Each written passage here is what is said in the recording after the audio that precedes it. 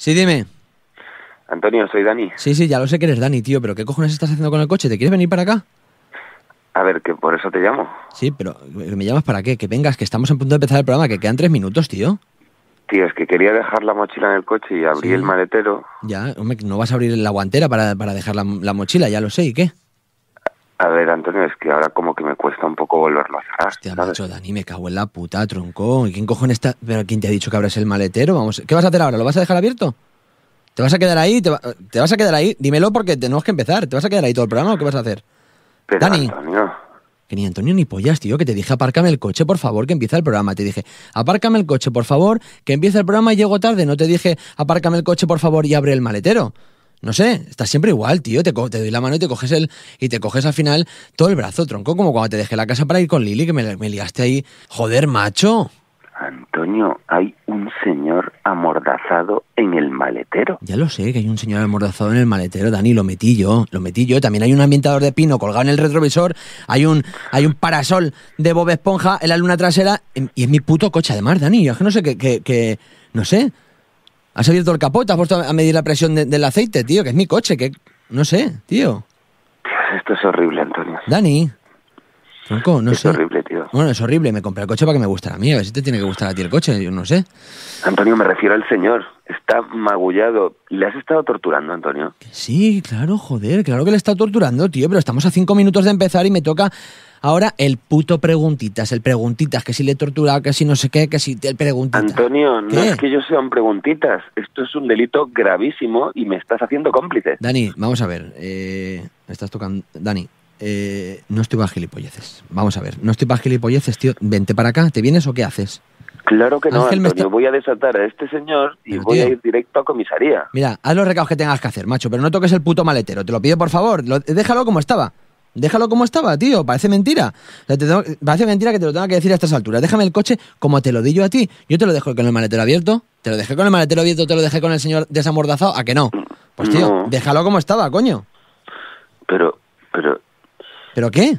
¿Pero qué? Que ni peros ni hostias, Dani. Que ni peros, déjate de tonterías y vente para acá ya. Me está metiendo Ángel presión. Vente para acá ya. Antonio, no pienso ir.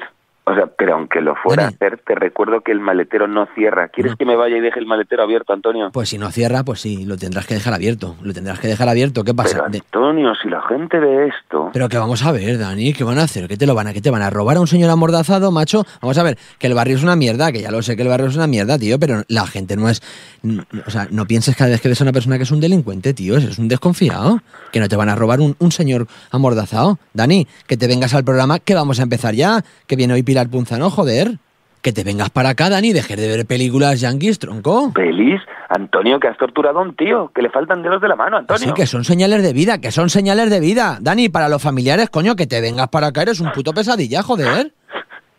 Antonio, ¿cómo has podido hacer esto? Joder, macho, joder, pues con alicates, tronco, con alicates, tío, con Dios alicates. santo. Dani, escúchame, empieza el programa en un minuto, tío, me estás poniendo muy nervioso. Te dejo con tus putas paranoias y madura un poquito, tronco, madura un poquito. ¿Crees que no vas a pagar por esto? Pues claro que sí que voy a pagar con esto. Te he dejado tres pavos. En el, eh, te dejo en, en el- en la guantera, te he dejado tres pavos para la zona azul. Pero claro, tú estabas entretenido con tu maletero, con tus gilipolleces y no has visto los tres euritos que te he dejado. Lo que sí que has visto es lo del maletero. Me cago en la puta, Dani.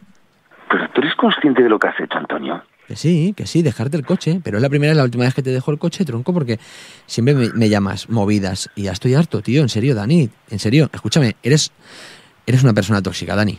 Dani. ¿Yo? Sí, tú, eres una persona tóxica, tío. Sí, me lo dice mi novia siempre. Desde que apareció Dani en tu vida, estás amargado. Me lo dice siempre, tío. Me hace siempre pensar en negativo, siempre. Y te he dicho que el programa empieza ya y sigues RQR y dando por saquito. Antonio, Antonio, creo ¿Qué? que ha muerto, tío. Dios mío. Macho, pues mueve. tío, pues escúchame, muerto el perro, muerta la rabia, tío. Que te vengas para acá, joder. El, el señor super empatía con los extraños. Que te vengas para acá, Dani.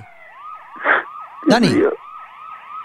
Escúchame, tío, mira, yo por esto no paso ya, eh, tío. Que te- mira, te- tengo bastante con mi, con mi piba y ya está, macho, que te dejo. Que lo siento, pero en el mundo de los adultos tenemos responsabilidades y tú sigues ahí con tus movidas, cambiando de horas y cambiando de lo que... Tío, que si no tienes nada que hacer, que te den y ya está. Adiós.